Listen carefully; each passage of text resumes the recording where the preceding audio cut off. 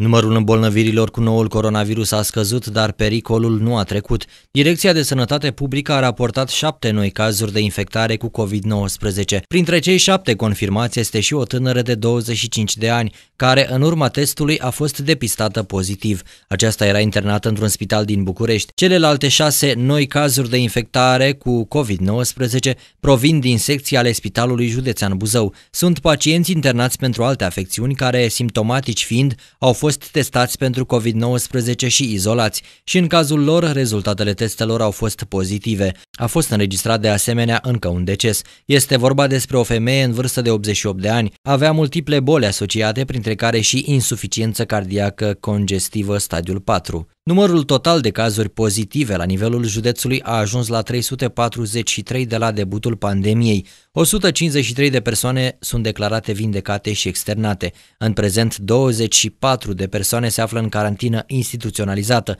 iar 968 sunt izolate la domiciliu.